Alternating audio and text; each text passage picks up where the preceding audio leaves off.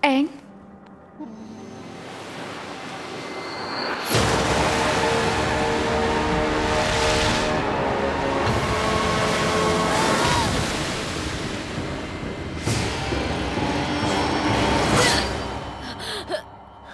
Saka, Saka, bangun! Uh? Kurasa kita tidak harus membawa negeri Avatar kau yakin? Iya, Baiklah. apa menurutmu jenderal akan marah? Kau bisa bilang apa? Kau avatar. Tidak ada yang lebih tahu daripada kau.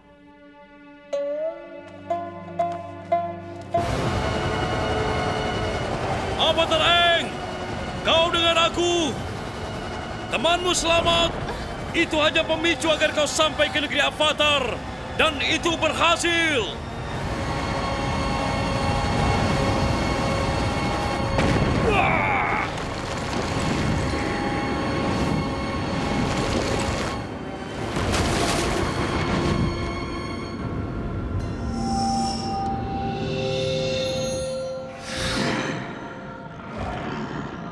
Saatnya kau belajar.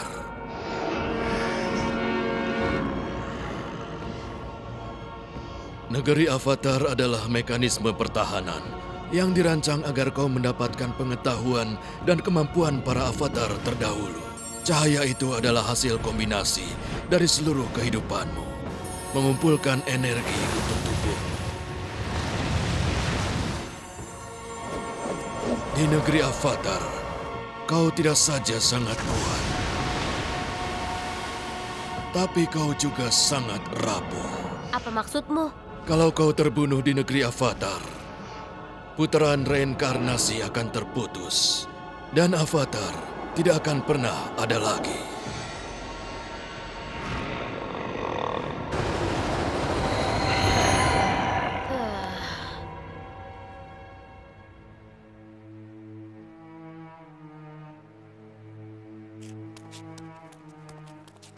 Maafkan aku, Katara. Kuharap kau tidak akan melihatku seperti itu lagi. Hah? Apa yang kau bicarakan? Itu namanya sempurna. Kita hanya harus mencari cara untuk mengendalikanmu. Apa kau gila? Kita akan mencarinya sambil menuju negara api. Apa ada yang tidak suka dengan ini? Apa kau masih menginginkan kami mendampingimu? Kurasa tidak perlu.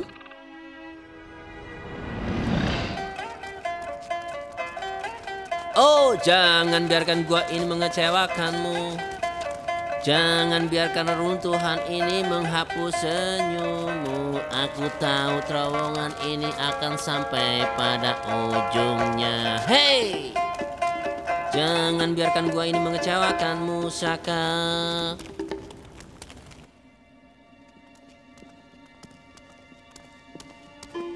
Eh, lihat. Kita menemukan jalan keluar.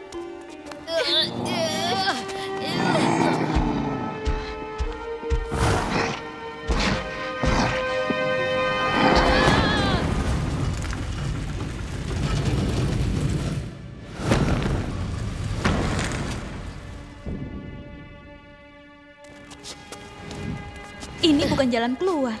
Bukan. Ini makam.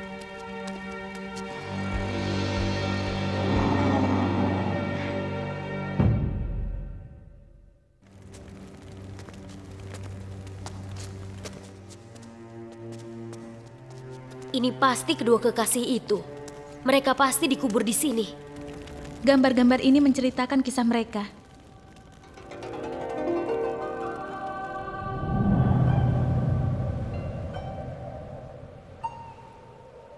Mereka bertemu di puncak gunung yang membagi desa mereka. Penduduk desa kedua belah pihak bermusuhan sehingga tidak bisa bertahan. Tapi cinta mereka kuat dan mereka menemukan cara. Mereka belajar mengendalikan bumi dari Begamo. Mereka pengendali bumi yang pertama. Mereka membangun terowongan labirin agar bisa bertemu secara rahasia. Dan kalau ada yang mengikuti, mereka akan tersesat dan tidak bisa keluar. Tapi suatu hari si pria tidak datang. Dia mati dalam peperangan antar kedua desa. Karena kecewa, si wanita mengeluarkan semua kemampuannya mengendalikan bumi. Dia bisa saja menghancurkan semuanya. Tapi dia malah mengakhiri perang tersebut. Penduduk kedua desa membangun kota baru di mana mereka hidup dalam damai. Si wanita bernama Oma dan si pria bernama Shu. Kota yang luar biasa itu diberi nama Omasu, monumen cinta mereka.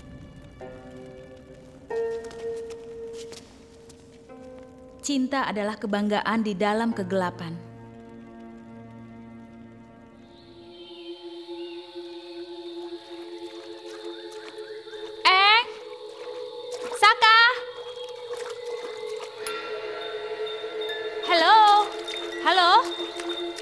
Kau bisa menolongku? Ibu? Ibu! Aku tidak percaya.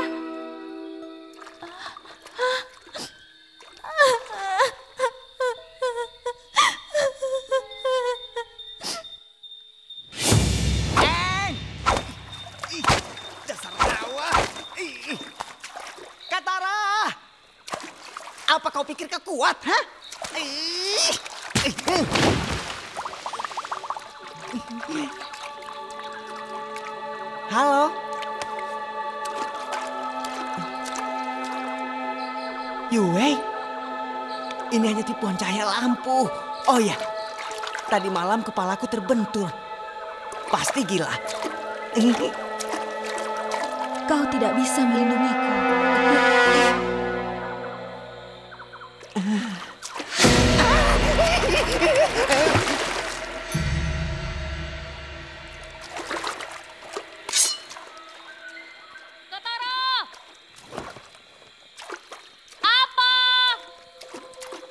Halo? Siapa kau? Hei, tunggu dulu!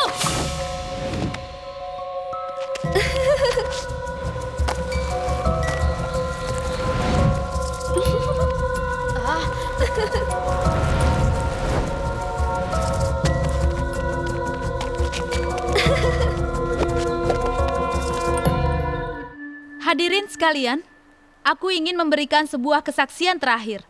Sudah kukatakan padamu, hanya aku dan tertuduh. Kau tidak boleh memanggil saksi mana pun. Ini bukan sekadar saksi. Aku akan memanggil Avatar Kyoshi sendiri. Apa? Avatar Kyoshi? Benar saja.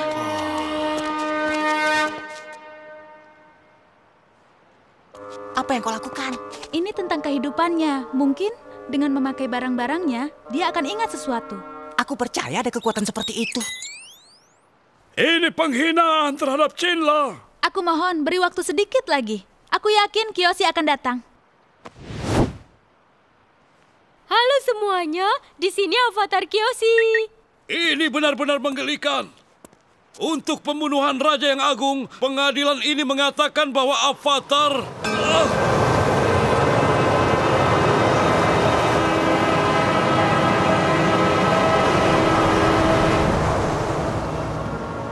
Aku membunuh raja itu. Bajak laut yang jahat. Dia mengirimkan pasukannya ke setiap sudut benua. Dia datang dan mengganggu kedamaian di tempat kami. Dia menuntut agar kami semua menyerah. Aku memperingatkannya.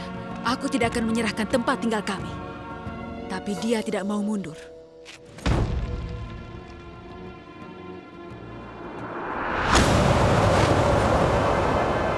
Dan pada hari itu, kami bertempur.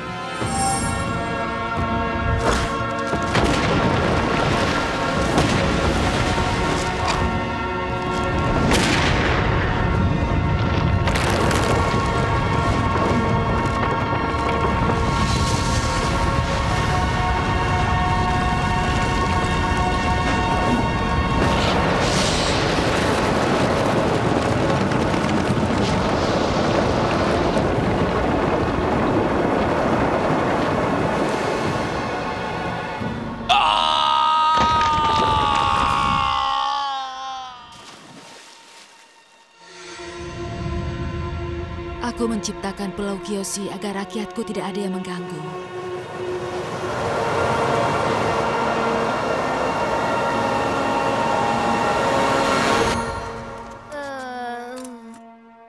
Apa yang telah terjadi? Eh, kau mengakui perbuatanmu. Maaf ya. Dan aku memutuskan kau bersalah. Bawa keluar roda hukuman.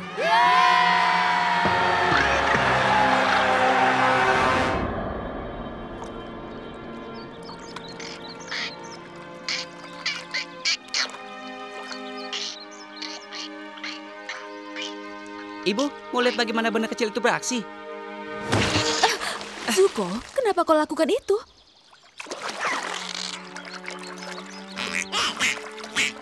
Ah, aduh, aduh, sakit, aduh, ah, ah, aduh.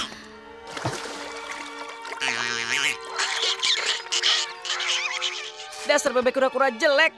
Kenapa dia melakukan itu padaku? Zuko, seperti itulah para ibu. Jika kau ganggu anak mereka, ah, maka kami akan membalasnya.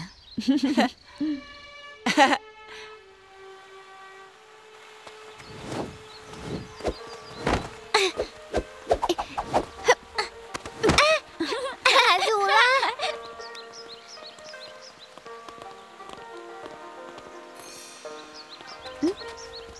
Lihat ini.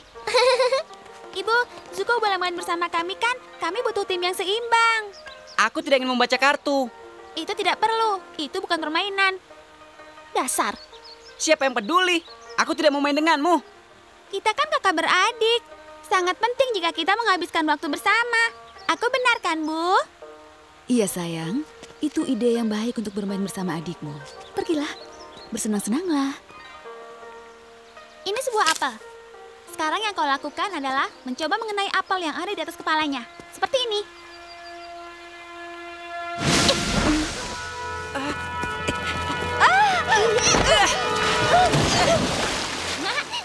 Kubilang, pasti berhasil.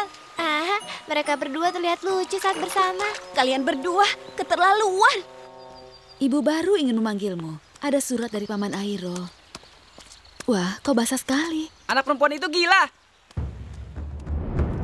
Jika kotanya sama luar biasanya dengan dindingnya, aku harus katakan itu sesuatu yang harus dipertahankan. Tapi kuharap suatu hari nanti kalian bisa melihatnya. Jika kami belum membakarnya terlebih dulu. Katakan pada mereka, selamat menikmati hadiahnya.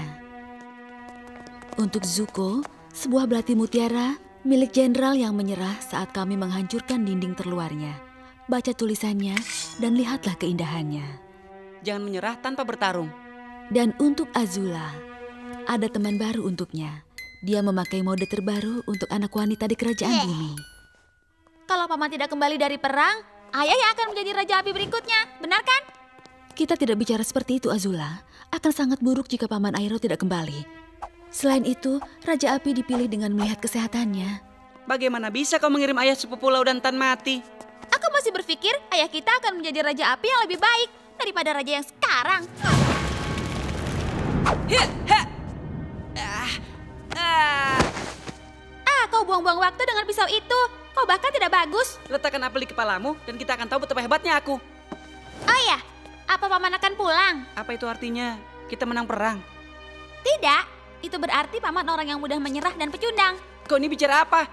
Paman bukan orang yang mudah menyerah. Emang seperti itu, dia mengetahui anaknya mati dan dia langsung hancur. Jenderal yang sebenarnya akan bertahan sampai mati di garis depan, bukannya kalah di pertempuran dan pulang sambil menangis. Bagaimana kau tahu apa yang harus dilakukannya? Mungkin dia cuma sedih karena satu-satunya anaknya sudah tidak ada. Untuk selamanya. Ayah kalian diminta menghadap Raja Api Azulan. Cepat, ganti baju kalian. Raja Api Azulan, kenapa tidak dipanggil kakek saja? Dia kan bukan Raja Api yang berkuasa lagi. Pasti akan ada yang menggantikannya. Nona muda, jangan bicara seperti itu lagi. Hmm, uh, ada apa dengan anak itu ya? Dan bagaimana kakek buyut Shosin bisa memenangkan pertempuran hantui? Kakek buyut bisa menang karena... Walaupun jumlah pasukannya sedikit, dia membuat perhitungan yang tepat. Musuh dapat dikalahkan dan pasukan pertahanan mereka musnah terbakar dalam hitungan menit. Benar, sayang. Nah, bisakah kau tunjukkan pada kakek gerakan yang kau demonstrasikan padaku?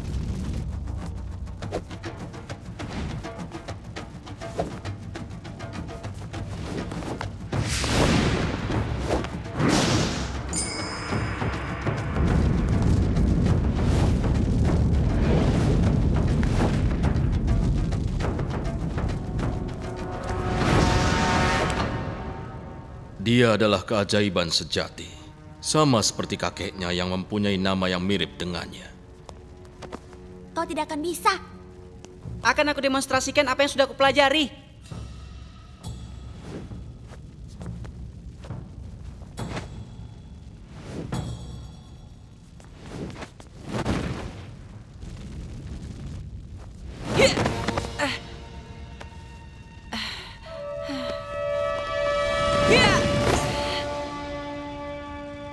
Aku gagal. Tidak, ibu suka melihatmu. Kau tetap bertarung, walaupun itu sulit. Pangeran Ozai, kenapa kau membuang-buang waktuku dengan hal-hal seperti ini? Katakan apa maumu. Yang lain pergilah.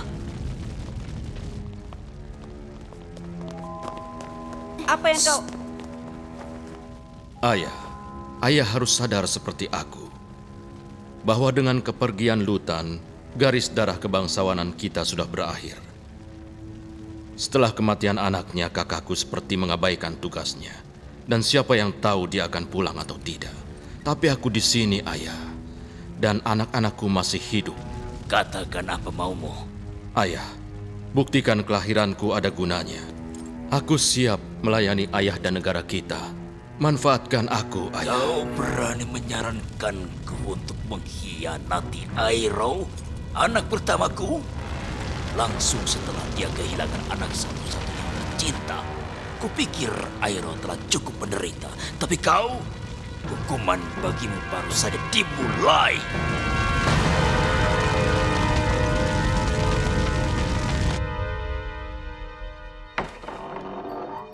Ayah akan membunuhmu. Ya, aku serius. Haha, Azula, usaha yang bagus. Ya sudah, jangan percaya padaku. Tapi aku dengar, kata kakek hukuman mati harus cocok dengan kejahatannya. Kau pasti tahu, rasa sakit kehilangan anak pertama dengan mengorbankan anakmu sendiri. Pembohong. Itu kan untuk kebaikanmu sendiri. Mungkin kau bisa menemukan keluarga dari kerajaan bumi untuk mengadopsimu? Hentikan, itu bohong. Ayah tidak mungkin melakukan itu padaku. Apa yang tidak akan dilakukan ayahmu padamu? Apa yang sedang terjadi di sini? Aku tidak tahu. Kita harus bicara. Azula selalu berbohong. Azula selalu berbohong. Azula selalu berbohong. Ibu. Ibu. Ibu.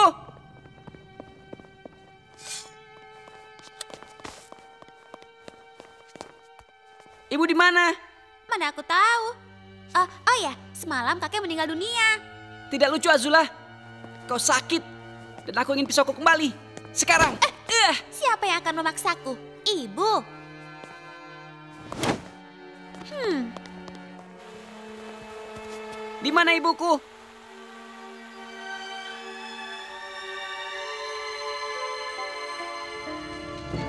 Azula, Raja Api dari negara kita selama 23 tahun.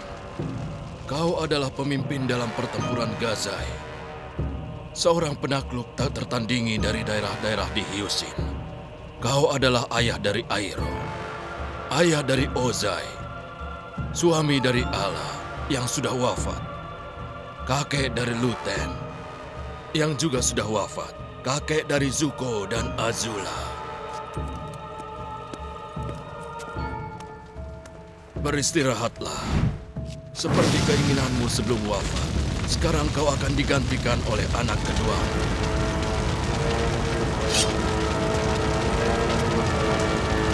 Hidup Raja Api Ozai!